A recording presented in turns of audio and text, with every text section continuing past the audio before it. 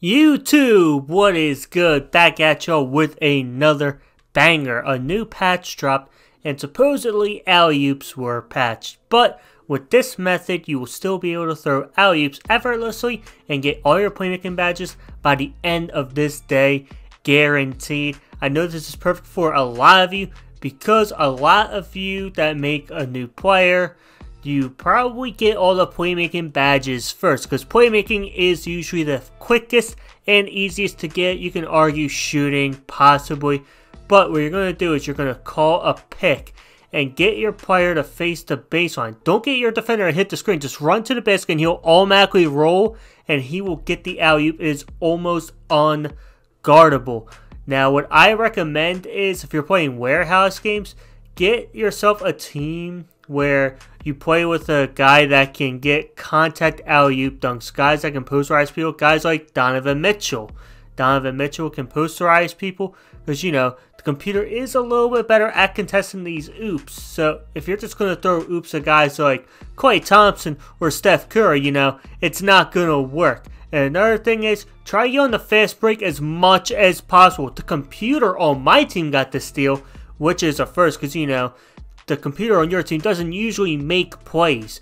But the more you can get on fast breaks, the easier, because most of the time, your computer team will be wide open. When you have the ball in your hands in transition, the computer is just determined to help on you every single time, and they neglect your teammates, making for easy assists. Okay, so I really want you guys to understand this. You see the thing next to the left stick? If he's not facing the way that you want him to, make sure you click the left stick. Wait a second or two, then just immediately drive to the rim and 30 alley and it'll work 90% of the time.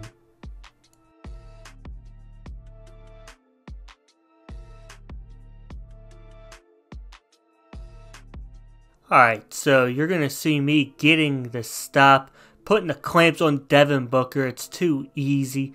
Harrell stole my rebound though. I'm not happy about that. I still need a couple more defensive badges. But I reset and I call the play. I recommend doing this on the wings. I just feel like it's easier on the wings or the baseline. I don't like doing it from the top of the key. And look how easy that is. He was literally wide open. Even though computers supposedly can defend lobs so much better, I'm still getting lobs with ease. And I already have my playmaking badges max. But if I want to make another player, I can easily get my playmaking badges max in a day with ease. I get the rebound right here. I'm hoping that one of them just go in the fast break. They're not always going to do it for some reason, even though it's clearly there. Right here, I'm going to try for the middle, just to demonstrate for you guys why I don't like it. Look, it could have gotten stolen or contested easily, and he got a layup, and there's a little theory that if they do a layup, then it's not going to count towards your LU passes. Not sure if that's true. That's just what I've been told since 2K20. So I just ride it. If I don't see a dunk, then I'm not happy. You see, I'm going to run the play again. Donovan Mitchell, give him the face the way I want. Take some time, go straight baseline, and look at how easy that is. Wide open alley-oop dunk. This game's going great. Unfortunately, you're going to see 2K Next Gen being 2K Next Gen. Just wait for it. Look at that, man complete BS. Let me start the game over and get back to you guys. So right here, you are about to see the point. Obviously, I got my playmaking badges max, so you're not going to be able to, you know, see the badge points go up. But I just want you to look at this. Look at the alley-oop assists and pick and roll assists. I had seven alley-oop assists. You know, they're not going to count all of them. I think it's supposed to cap out at six. I might be wrong about that. Maybe it is four. But, you know, they're not going to count all of them for whatever odd reason. And obviously the pick and roll assists help. I get a playmaking badge every game or every other game. And you will too if you do this method. Now, if I didn't say it in the video already, I will say once again. Can you do this in my career? Yes, you can do this in my career. It's a little tougher because, you know, help side defense and all that. There's more defenders on the court. But this was the method I did use to get my playmaking badges in past 2Ks. Thanks to Carrying DF. He was the one that showed the method in 2K20 in my career. And it made getting alley-oop assists a lot easier. And, you know, it's great to be able to get your playmaking badges really fast. If you are more of a My Career guy, you know, play that My Career.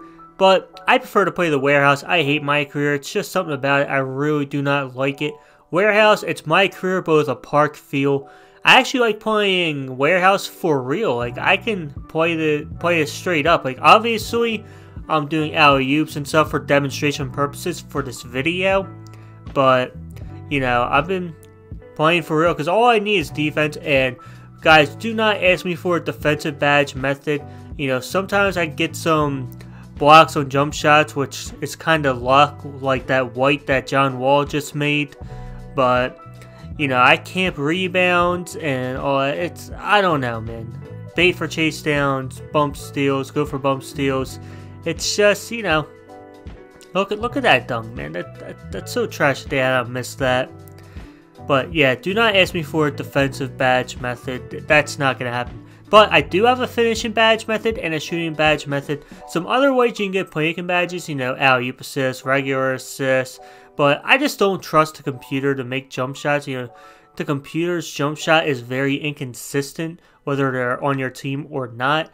So I recommend once you get like four, five, six alley oop assists, then just go for your shooting and finishing badges. Now I have a method for both shooting and finishing. I will leave them both on the end screen. I also have a badge glitch that I want you guys to check out so you get unlimited warehouse games. You can play the same team over and over and over again if you find a matchup that you really like. Or you just want to get unlimited warehouse games because you don't want to run out of warehouse games before maxing out your badges. Because why get your badges in My Career when you can simply just get them in the warehouse? It's just so much more fun, more convenient this way. Because, you know, I really, really, really hate my career. And I know a lot of you hate my career too. So that's why I'm telling you guys about the badge glitch. So I want you guys to check that out. They're all going to be on the end screen. Check out every last one of them. So yeah, like I said, once you get enough alley-oop start going for your shooting badges, go for your finishing badges. So I know a lot of you make new builds and go for playmaking first because playmaking is the easiest and quickest to get. You can argue shooting, but I think playmaking is a little faster. You see, look, the unstoppable is stoppable. You know, they're going to tip the pass sometimes, get the steal sometimes.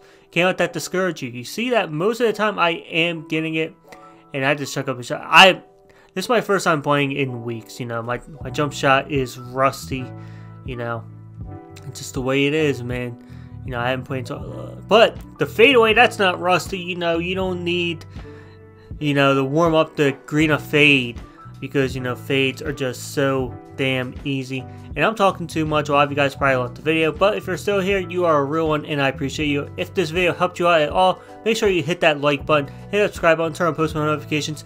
I haven't gotten a chance to thank you guys, for those that don't have Twitter, for 7,000 subscribers. You guys are amazing. I appreciate the support. I know I've been inconsistent, inactive.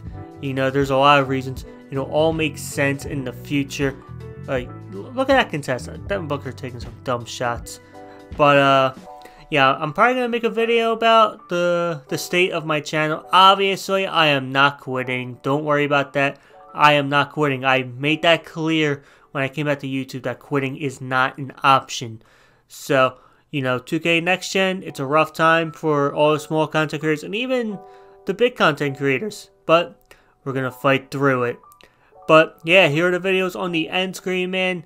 Like, subscribe once again. I'll see you there, or I'll see you on the next one. But till next time, I am out. Peace!